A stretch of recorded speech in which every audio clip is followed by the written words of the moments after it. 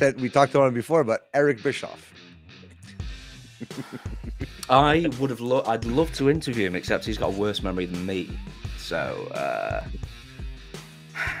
he probably doesn't get enough credit. I don't think. Hmm. I think a lot of people just say, "Oh, well, he only had one good idea that he stole from Japan with the NWO," but it's not true. No. He had to deal with a lot of egos. He went out and got a lot of people. Yeah, fine. He had a lot of money to spend.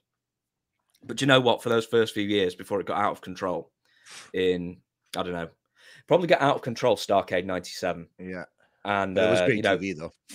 I didn't get it. I didn't get the whole Sting doesn't get pinned and then he does get pinned. I'll tell you what, right? And this is actually something else I've heard before, and it's true.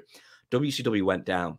The the first thing where it just wasn't going to work was where Lex Luger won the title mid 1997, like August maybe, uh, from Hogan, and then he lost it the next week. Oh, wow. It was the right time for him to be champion. He should have been champion for like a month or two, and then he wasn't. And that's so smacked of there's too many people pulling the strings here. There's too many people with their own self interest.